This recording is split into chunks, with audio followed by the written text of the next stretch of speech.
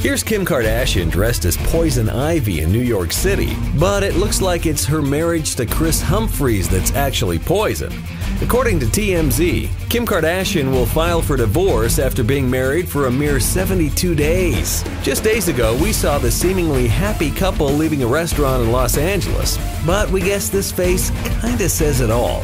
That's a big contrast from the big smiles around the time the couple celebrated their nuptials at one of Hollywood's biggest, most anticipated weddings. Kim will cite irreconcilable differences and has apparently hired divorce attorney to the stars Laura Wasser.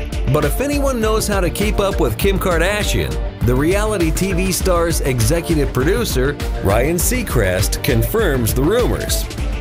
We suppose this couple couldn't see eye to eye. Thank you.